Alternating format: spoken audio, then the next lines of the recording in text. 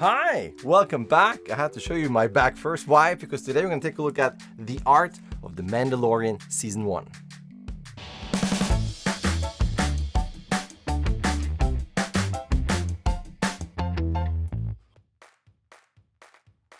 And already turning this around, come on.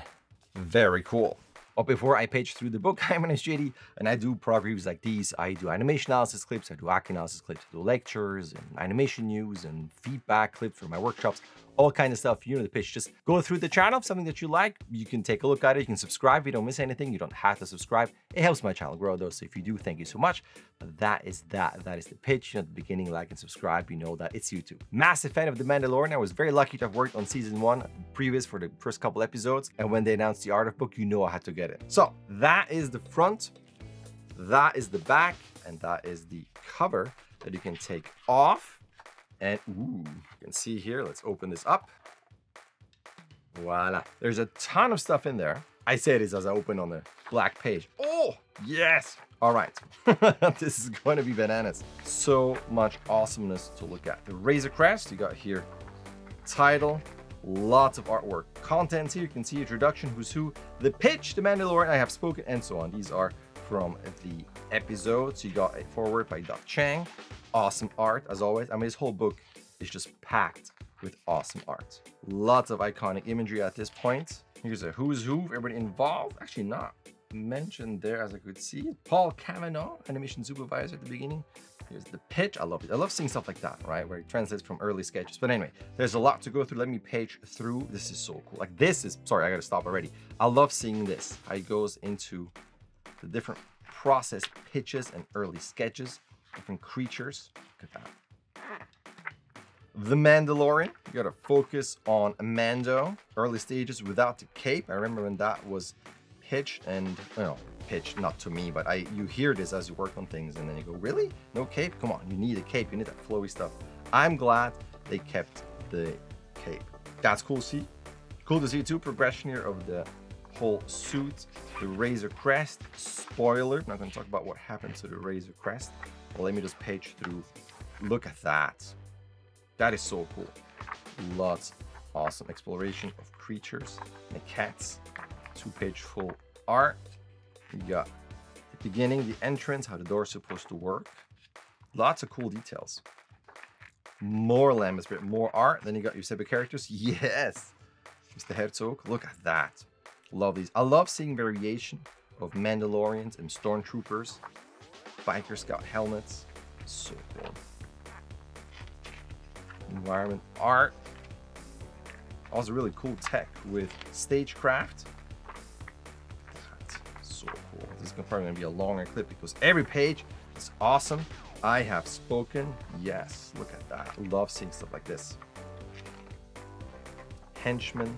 Oh, and we're getting to Baby Yoda. Actually, not Baby Yoda, but Grogu Everybody still calls him Baby Yoda. It is Grogu though. Super cute. Look at that. How cute is that? Then we got the planes as they were hopping around. Actually, doing previs for that. I remember how the size of these kind of tricky to previs, how they were hop around. Like how big are those gaps? Not that that was the uh, deciding factor at all, but it was a lot of fun to work on that, to kind of determine that. That's the stuff that I worked on, is kind of the early staging, and previs development of exactly that. Where are they? Where are they shooting? What are they looking at? The direction, everything. It's very, very cool. That's cool too. Look at that. Love these. Trandoshans. Ooh. Jawa episode was also awesome. And if you haven't seen the show, obviously this is full of spoilers. That I thought was really cool. The animation on the Mudhorn was absolutely fantastic. Love the look, love the, the messiness and the sliding and some of the like the hitting of the head into the ground. Very, very cool. Really hats off to anybody who animated that. Again, spoilers. The Sin going forward with more episodes. Yeah, yeah. Very cool. Look at that. This gets into almost Iron Man territory. Also very cool. Love all these. All these little these costumes and insignias. So cool. That's interesting because it was not quite like that in the final episode as they were flying more Iron Man style. Although the salute was kind of weird, dare I say. Ooh, Sanctuary. Yes. Also very cool, classics. I love these. These when they walk in, in the in the episode, the animation of that integration to the live action play is very cool. I mean, you know, this whole thing is very cool, but I have to say, it was very cool. These are great. I'm still very tempted to get the Lego set, build that with my little one. Love that. He loved that the eyes were glowing. Because his question was, so wait, wait, is someone in there? Is that a robot? How does this work? Cool action. Look at that. That's super cool. Grogu eating all the frogs. How dare he? The gunslinger. Yeah, look at that. This is why I'm here. I love stuff like this. Helmet variations, color variations, the different designs. So cool. I loved seeing actually prequel stuff. Redone, better renders, just up to date. Very cool. These are great too. How they were, if you look at the uh, the making of how they're sitting on this and how it kind of balances, so it has that kind of floaty feel to it. I thought it was really well done as well. Disney Plus has a really cool documentary. For season two, it's a it's a longer, it's a one hour documentary. For season one, it's multiple episodes going through all kinds of things with the directors, talking about their process and their experiences. Also really cool. Love her. We just finished, just finished a couple months ago, last year. Well, for sure last year, now 2021. In ER, that's where I know her from the first time, ER, but her costume is great. I think her character's great. She's great in it. Yes, I know everything's great. I do love it though. I do love season one and season two. These are great too. The X-Wings just go in there and demolish everything at the end. That was a bit of a question mark for me. Holy moly, you just shoot everything. Great too, the voices. That whole thing, that whole episode I thought was great. I know, again, here's the word great, but I really thought it was a nice switch of tone, kind of cat and mouse thing. The music was really, really neat. The set design, also cool. Whenever there's something that's something like that, more classic, classic old school Star Wars, white and black sets. It's very neat. The Reckoning, yes. Moff Gideon in the house. That was super cheesy, but hey, actually my little one watches stuff on YouTube where it always talks about the beat and Moff and Super cute. Poor guy, not gonna say what happens. Spoiler. Uh, yeah, I love all these. Sometimes I wish that the concept stuff is usually very dramatic in terms of the lighting, and it always gets kind of lost in the actual shooting, where it's not as bold in its light and shadow play. Now, sometimes I wish it would go a bit further, almost like Empire Strikes Back, the ending fight really into darkness and bold colors. Crazy stuff happening here too. Spoilers. Grogu. Yes, these are great. Coming back from the old Kenner toy, I believe. If I remember my nerdiness throughout the show. Yes. There was a shot of this TIE fighter landing, I believe, animated by Andy Wong. Shout out to Andy Wong. Love this. Love that costume. Look at that. Yes. So cool. Redemption. Also, that whole fight. Very cool. Sometimes we have access to some of these things to look at during the production, and dare I say, some of the witness cam stuff and things how they shot that. I saw that super early on, but I wasn't putting the pieces quite together. This was the end. I, I guess I didn't want to really know it is the end, but it was super cool seeing some of those production uh, photos and concepts early on. Dare I say, we have access to all of that. Spoiler, spoiler. Also love when he takes it off. It's all messy. Love that it's all messy under the helmet. Very cool. Gets the backpack. Awesome. Awesome voice too. Speaking of which, the dubbing is awesome. The French version of The Mandalorian is great. I don't know if it's going really what, but it, it is really, really great. The French and the German version, the French especially. Wherever the, the casting for those voices, fantastic. That's a crazy combination of an R2 droid there. Walking into its demise, IG.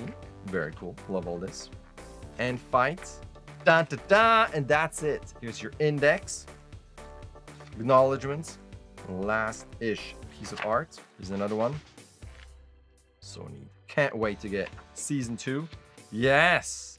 Dun dun dun! Yes, yes. Was also very cool. Look at that. We have an end on this. Into darkness. But there we go. That is that. The last page. Here's the back as we showed before. That again is the front. So as you can see, a lot of artwork. It's very heavy on images, not so super heavy on text. You got some of these, you know, synopses and kind of explaining what's going on, but it's not massive, massive on kind of like a, a making of behind the scenes uh, document like the, the Rinzler books. But that is okay because it is an art of book. That's the concentration and that's why I love it. I have spoken indeed. And when I say Rinzler, I mean, I let me show you the books. Oh, heavy stuff here. The making of Star Wars. You can see there's a huge. It's been a while. There you go. You got the making of Star Wars. And you can see, oh, I mean, not that I don't have any photos, but you can see there's a lot more text. There's a lot more behind the scenes information. And they actually have really cool iPad versions where you have the same thing, but then also video clips and deleted scenes. It's actually really cool, the digital version. This is the making of Star Wars, the making of Empire Strikes Back, also dusty and pretty big, and the making of Return of the Jedi.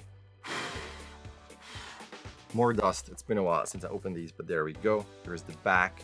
And again, all of these, let's go back in there. Lots of awesome photos, lots of text, really goes into detail into what happened.